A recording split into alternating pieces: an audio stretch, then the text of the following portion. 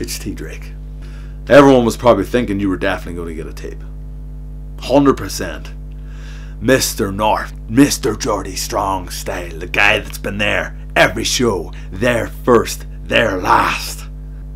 It wasn't a guarantee. See, because we've wrestled before, Drake, but never in a North ring. You've knocked lumps out of me. You kicked my own videotape so hard into my face I was picking plastic out of it. But when it comes to North, there's something missing. There's always been something missing. And that's the difference between me and you. That's why I'm holding this.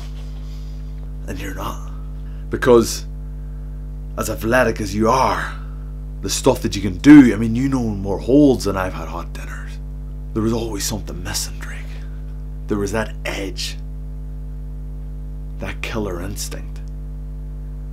That little bit that snaps where you think I'm going to go that extra bit to win.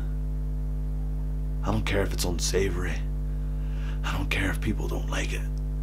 Then I'm to do what I need to do. And recently, you found it. I've noticed you've started getting a little bit more aggressive. Stuff doesn't sit as well with you as it used to. You don't like these people passing you by. You don't like these gimmicks getting over. Now, recently it might have ended up with you having to spend a couple of nights on the sofa. I want you to get off the sofa, gimmick killer. I want you to roll into the Paddy's Day Massacre and I want you to show me that thing that you were missing for so long.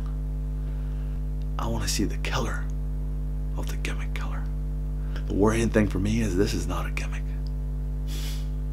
The horror movies, the video cameras, the hurting people, the sadistic smiles, the wanting to be a cult leader, that's just me.